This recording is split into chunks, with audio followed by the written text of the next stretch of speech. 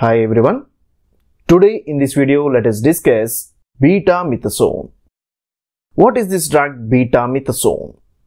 The suffix "-sone" indicates that this drug is a corticosteroid and corticosteroids are having anti-inflammatory activity so betamethasone acts as anti-inflammatory agent. This drug is also having immunosuppressant activities but being a corticosteroid, betamethasone is particularly used as anti-inflammatory agent. This drug can be used by topical route in the form of lotion, cream, gel as well as foam. And this betamethasone forms a diester with the propionic acid so it is available as dipropionate ester which is more potent and it can be used for topical purpose. Similarly, another ester form is also available, betamethasone valerate, which is somewhat less potent compared with this dipropionate. So, in many of these topical preparations, betamethasone dipropionate is present, which is a potent corticosteroid. And this drug can be used for the treatment of dermatoses, which are involved with inflammatory reactions, such as eczema. Even it can be used for the treatment of psoriasis and any skin conditions associated with pruritus. In all these conditions, betamethasone can be used by topical route. Similarly, this drug is also available as eye drops for the treatment of ocular inflammation. Not only the topical route, this drug is also available for systemic purpose.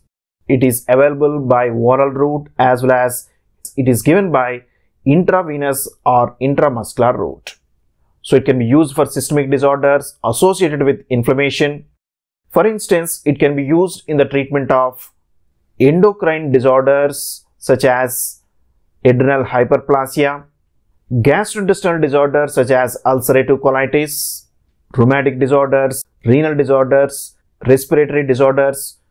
So many of the systemic disorders associated with any inflammatory conditions can be treated by betamethasone. So today in this video we are going to see how this drug acts, what is its chemical nature, what are the important precautions, side effects, dosage forms, all these things we will discuss in this video. First of all, what is the chemical nature of this drug? So this is the structure of beta-methasone. Let us give the numbering to this steroidal ring. So this is the numbering. Now simply it is having 21 carbon steroidal ring. So suffix of the drug is nothing but pregnane and it is having the double bonds at first position as well as at the fourth position. So we can write this as pregna 1,4-diene and ketone groups are present at third and 20th position. So 3,20-dione. Now at the 16th position we can observe a methyl group which is attached by beta configuration. So we can write this as 16 beta methyl. That's why betamethasone is having infix beta which indicates it is having the methyl group at 16th position attached by beta configuration. Similarly, it is having the fluorine group at the ninth position, so 9 fluoro. And hydroxyl groups are present at 11th, 17 and 21 positions. So 11, 17, 21 trihydroxy. That is a complete name of betamethasone. Now let us see how this drug acts. So betamethasone acts on the inflammatory cells. Being a steroid, it acts on nuclear receptors. So within the cytoplasm, glucocorticoid receptors are present, which are coupled with few of the proteins such as HSP90, heat shock protein 90. This beta betamethasone can interact with the DNA within the nucleus. So initially it binds to the glucocorticoid receptors within the cytoplasm, which is going to be internalized into the nucleus and then it is going to be dimerized. This dimerized complex can interact with the DNA to produce the gene transcription so that it can produce mRNA. This gene transcription is followed by protein synthesis so that it can prepare few of the proteins such as lipocortin 1 as well as annexin A1. These proteins can control the inflammatory cascade, thereby they can reduce the inflammatory gene transcription. Similarly, betamethasone can also inhibit the release of IL-2, one of the important mediator which increase the immune response. That's why betamethasone also acts as immunosuppressant. few of the inflammatory mediators can act on their corresponding receptors so that they can activate inflammatory pathways. One of the inflammatory pathways is the NFKB, nuclear factor kappa B. This NFKB can interact with the DNA so that it can produce inflammatory gene transcription releasing the various types of inflammatory mediators. Now betamethasone occupying the glucocorticoid receptors, it can inhibit the activity of NFKB so that it can inhibit the release of inflammatory mediators. In this way, betamethasone can also reduce the inflammatory gene transcription. Similarly, when there is an inflammatory stimuli, it can stimulate the release of phospholipase A2, which is the cleavage enzyme, and this enzyme can produce a cleavage of phospholipids so that they can release few of the mediators such as arachidonic acid.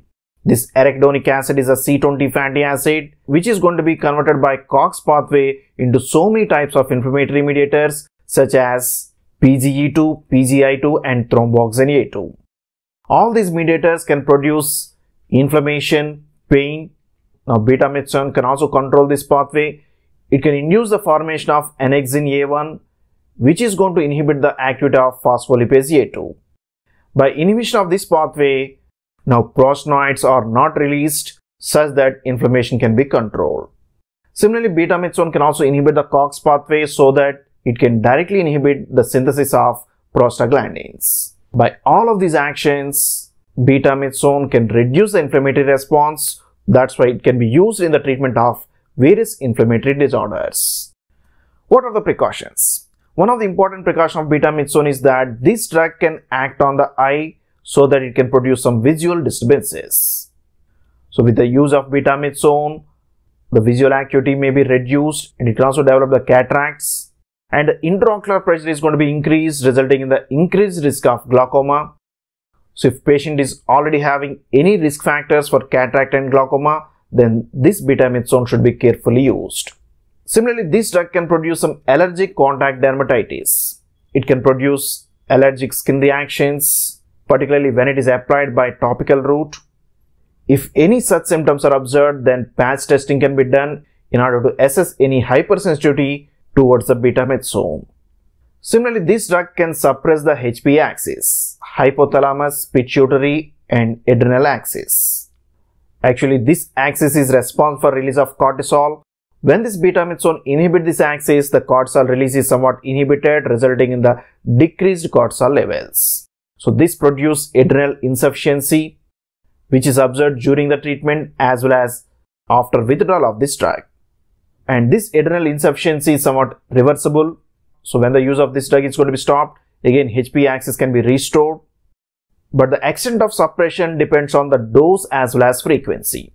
So with the higher doses and frequent administration, HPA axis can be suppressed, which results in the hyperglycemia and development of Cushing syndrome. Now let us see the side effects of betamethasone. The important side effects mainly include the local reactions. It can produce it can produce some burning, irritation, erythema, dryness, pruritus, hypopigmentation. It can also produce some acneiform eruptions on the skin. So all these are the hypersensitive reactions that can be produced by betamethasone. It can also produce some contact dermatitis, rashes, and systemic side effects such as increase in intraocular pressure, which increase the risk of glaucoma and development of cataracts can be observed with this betamethasone. So when this drug is used for topical purpose, very less amount is going to be absorbed, but with increased dose and frequency of administration, these systemic side effects can also be observed. How it is given? This drug is available in different dosage forms. It is available as lotion, it is available as cream or gel, even it is also available as a spray and foam. So when it is applied for topical purpose, the cream should be applied as a thin film which can be applied either once daily or twice daily. The treatment can be continued up to 2 weeks to reduce the inflammation. But per week the dose should be less than 50 gram in order to avoid suppression of HPA axis. Similarly, this drug is also available as eye drops, even as tablet for oral purpose and injection for intravenous or intramuscular purpose. In this way, betamethasone is available in different dosage forms. So that's about this drug, betamethasone, which is a corticosteroid used in inflammatory conditions. It is mainly used as a topical purpose for controlling skin reactions such as eczema, psoriasis, and pruritus. It can also be given by systemic route in order to control inflammatory systemic disorders. Suppression of HPA axis is one of the important precaution and this drug can increase the risk of glaucoma and cataracts which should be carefully monitored. So that's about this drug betamethasone. In our next video we will come with another interesting drug. So that's for today. Hope you have enjoyed this video. If you like this video please subscribe to our channel, share this video with your friends, post your comments in the comment box. Thank you for watching this video.